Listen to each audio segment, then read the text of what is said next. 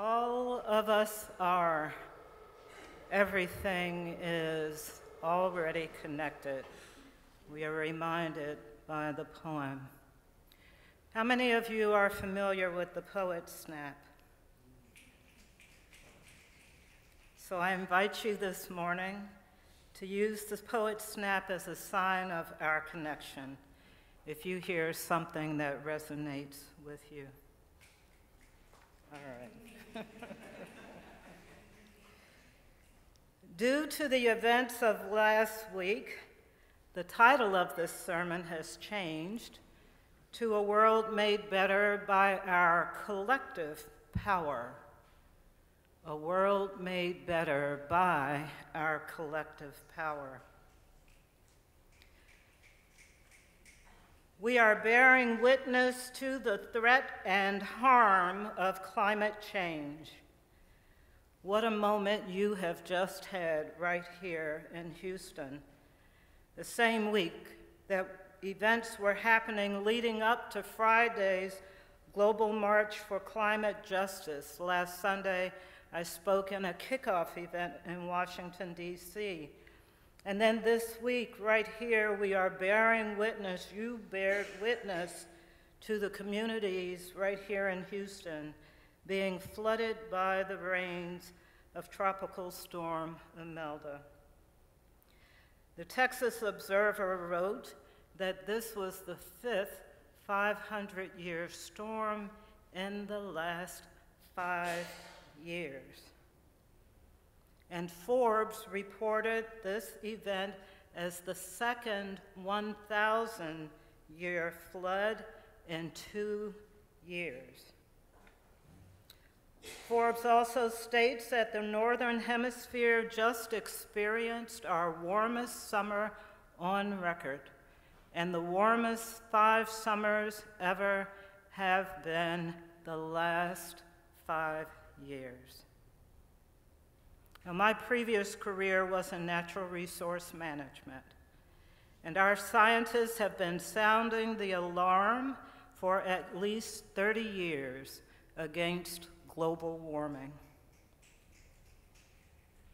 And we have leaders who not only deny the impending climate and environmental threats, but they are dismantling environmental and public health protections and putting many communities and ecosystems at risk. There is something very wrong when our youth have to take to the streets to demand that adults protect their lives and their future. There is something very wrong when leaders ignore these cries for help and accountability and continue to use their power in ways that alarm harm, that allow harm and destruction. How can we change the conditions that cause pain, suffering, and injustices? How can we bring healing to life and to the environment on earth? There's a quote by James Baldwin that always gives me hope, and it might encourage you too. And although Baldwin was speaking to a group of writers his message has universal value. And he said, I quote, You write in order to change the world, knowing perfectly well that you probably can't. In some way, your aspirations and concern for a single person, in fact, do begin to change the world. The world changes according to the way people see it. And if you alter, even by a millimeter, the way a person looks or people look at reality, then you can change it. End of quote. Baldwin was saying that we have the power to change the world if we change for the better what we and others do and see. So, isn't this one of the reasons why many people come to church? To change for the better the way that we see the world? There's something powerful in being a part of collective positive intention and action. And we know it in our bodies and our souls. We return to it over and over again on Sundays, and it's not just because going to church is a good thing to do, although it is. We return again and again because our souls are nourished by the energy in this sacred space.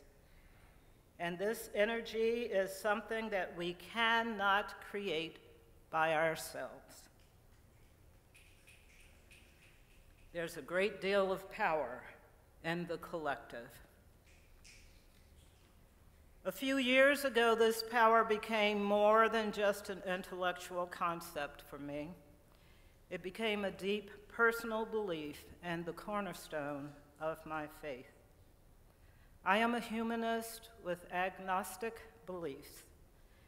As such, prayer has not been a practice in my adult life.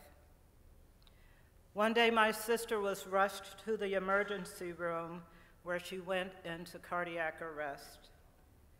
The doctors diagnosed her with pulmonary embolisms and they put her in a medically induced coma.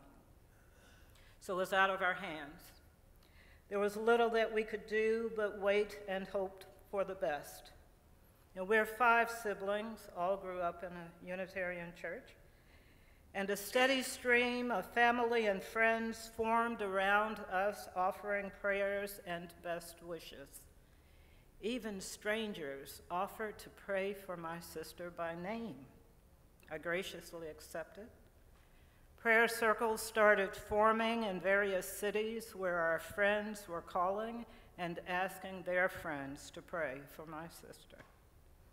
And as the weekend approached, I was trying to decide where it would be best for me to be on Sunday. Should I go and be a part of my own church community? Should I go to the hospital chapel for quiet reflection, or should I stay near ICU in case her condition changed? But truly appreciating how many people had been offering prayers, I realized that there was something I could do. I know a lot of Unitarian Universalist ministers across the country. I could ask them to pray. It was uncomfortable for me to ask, but I started writing to you, you ministers, on Facebook and by email to make the request. My message to them said, I believe in the power of collective thought and action. Will you ask your congregation to hold my sister and our family in love and prayers? Will you ask your church community to join us in sending positive, healing thoughts her way? Three days later, my sister awoke from the coma with no pain and no memory of what had happened. The doctors and medicine took care of her physical body. But maybe prayer circles, congregations, families and friends around the country, maybe they provided a larger spiritual body of positive energy in support of her healing.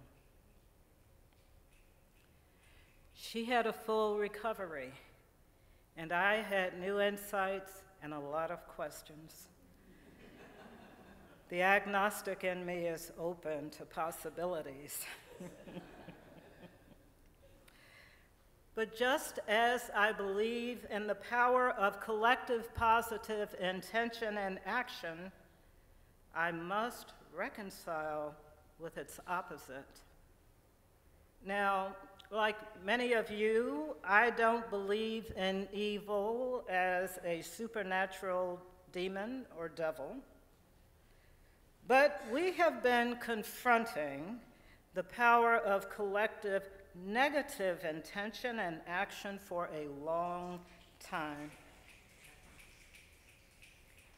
This is what movements are all about building collective power to take on sources of power and authority that are deliberately doing harm to our communities. It is said in Unitarian Universalism that we do not have a theology of evil. Now, this conversation has been taking place for a long time. And I hadn't felt the need to think enough about it to really draw my own meaningful conclusions until a couple of years ago.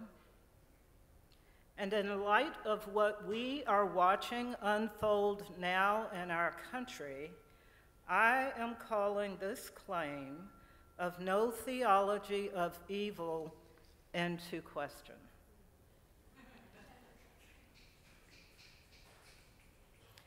We, Unitarian Universalists and progressives, are driven by the call to social justice, and this is our response to evil. You say it very clearly in your vision statement for this church, and I quote you we join together on the path of spiritual and intellectual growth to promote and celebrate community, diversity, and social justice for a healthier and more equitable world. End quote. That's your statement. This call to social justice is central to Unitarian Universalist values and identity. We have a history of confronting the forces of injustice. Now, we might not use the language of evil, but I think it's time that we name the power of collective negative intention and action and articulate the theology that counters and eliminates evil. It helps to name things. We were not ready for what was coming our way a couple of years ago. The Martin Luther King philosophy of nonviolence identified the triple evils as poverty, racism, and militarism. Now, I think we can add another one to the list environmental destruction, and species extinction. Now, my intention today was to actually preach about hope. and we're coming to that. My sister's recovery left me with questions. What if we really do have a power beyond our comprehension. How do we tap into it or harness it to make changes? How can we access that power and bring it into the ministries of our Unitarian Universalist congregations? Are we operating at capacity? Or do we unknowingly limit our power to change ourselves and to collectively change a piece of the world for the better.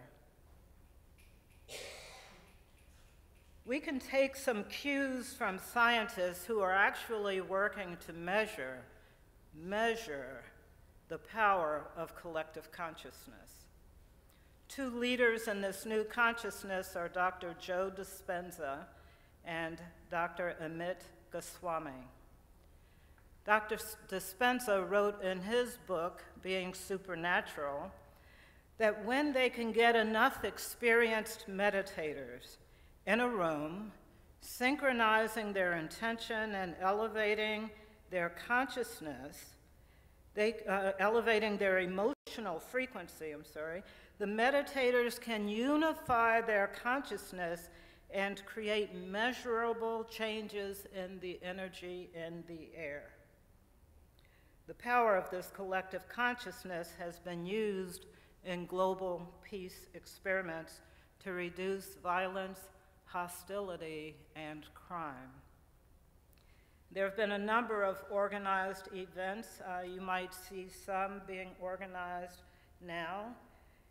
And with thousands of experienced meditators meditating to try to impact violence, they have had success. The results from one of these events used transcendental meditation, and it showed a 76% reduction in war deaths in Lebanon and reductions in other acts of violence. That is remarkable.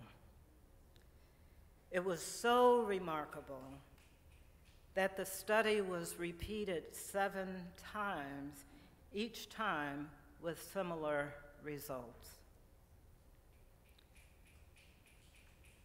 Now, Dr. Amit Goswami's work is described in the video Quantum Activists. Familiar? He removes the division between science and spirituality by unifying the objective and the subjective realms. Or said another way, he unifies conceptually the material world of matter with the subtle, private world of thoughts, feelings, and intuition. Now, there's a lot more than we can get into this morning, but just imagine the world that you see as you move through your day.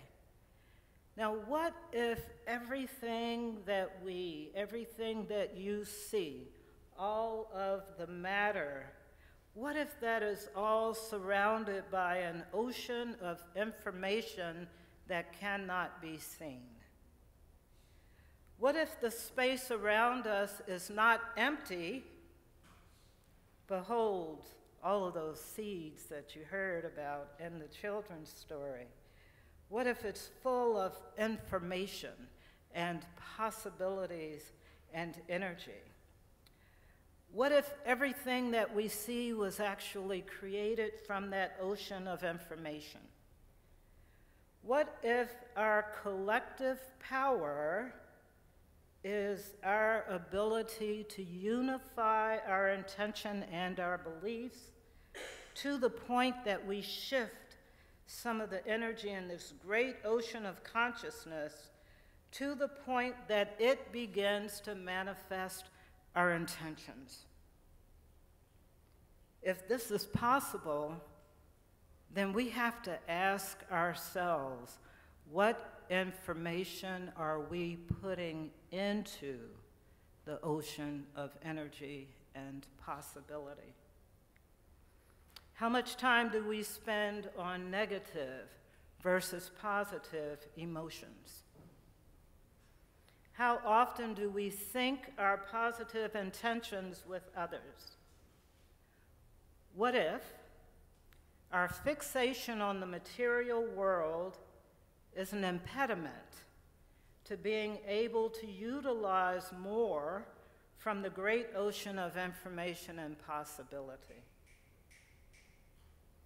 What if we are just way, way, way out of balance?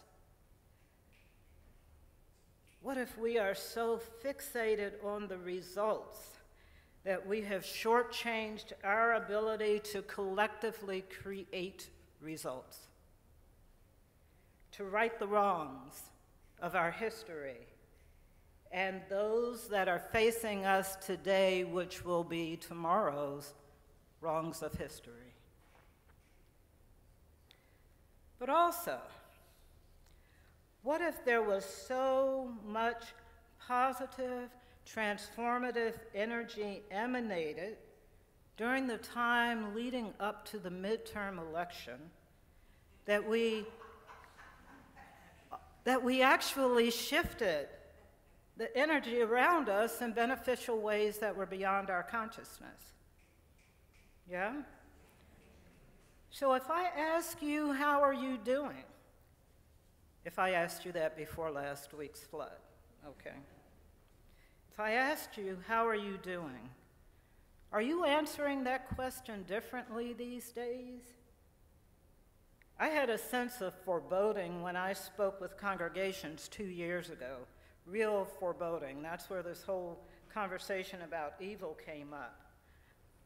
But I notice now that there's a flow. Yes, things are still hard, and we have a lot of challenges, but there is so much synchronicity happening now. And a lot of things are moving forward as though impediments are being lifted. You feel that? And, and the way is being cleared for greater cooperation and insights to be rooted in the day to day rhythms of our lives. My friends, I believe that we are witnessing the great turning. Now, no one said how long it takes, right? This term, the Great Turning, is used by Joanna Macy and David Korten. And Korten describes it as, and I quote, the awakening of a higher level of human consciousness and a turn from an era of violence against people and nature to a new era of peace, justice, and environmental restoration. End of quote. And to put this great potential of shift in human consciousness into perspective, Dr. Dispenza suggests that we teach this way of thinking and meditation in our schools. And it's happening in some schools. And then not only will we have millions more people who can draw from and contribute positive energy to this larger ocean of possibilities, but it will become a way of life the same way technology is a way of life for young people today. This may, in fact, be one of our greatest hopes for the future. We can do more good things to create more good energy and connections that can neutralize or counterbalance this negative energy.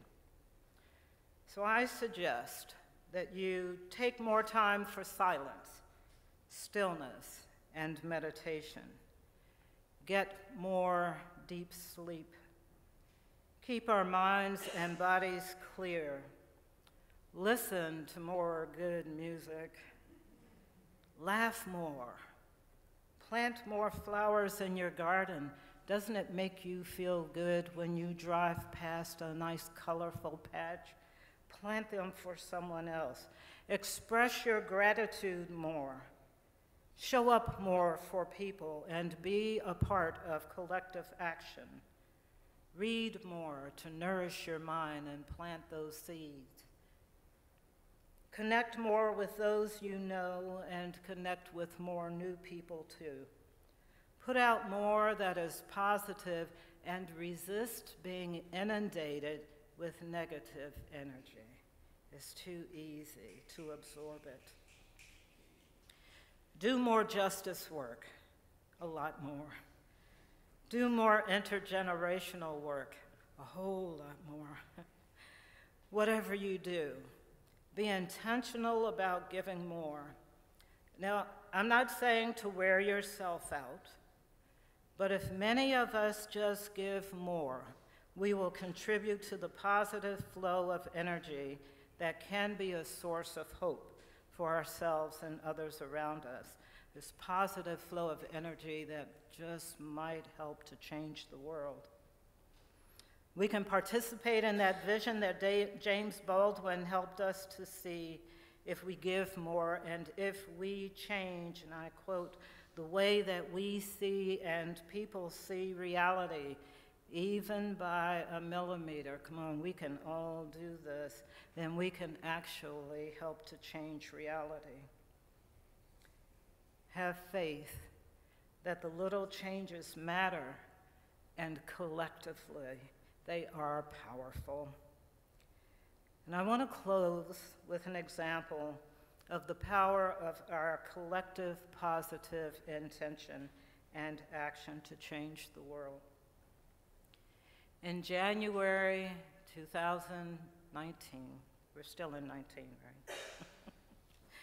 The most diverse group of legislators to ever serve this country were sworn into the House of Representatives in the 116th Congress. They are the most diverse in age, gender, race, sexual orientation, and religious affiliation, including two who are Unitarian Universalists. The energy of our collective consciousness is moving in positive directions. Women and youth have been highlights of this story. In fact, those two movements are coming together now around the new Green Deal. Be prepared. Unitarian Universalists are supporting it.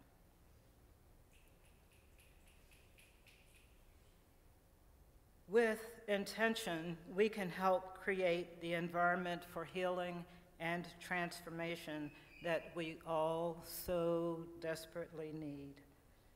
Let our benediction today be a Leonard Cohen song recorded at my home congregation, All Souls Church in Washington, D.C., on the eve of the Women's March of January 2017. Raise your hand if you were there. All right, all right. The collective power that went into organizing women around the country and around the world got women into office, and it will continue to affect the energy and the outcomes, moving us forward. This is what we should celebrate and elevate. May we all do our part to help build the collective power of positive intention and action, and to bend, bend the moral arc of the universe toward justice and wholeness. We need this more than ever. So let us go forward with hope and faith and remember we are already connected and we can use our positive intention and action to make the world better. May it be so and Amen.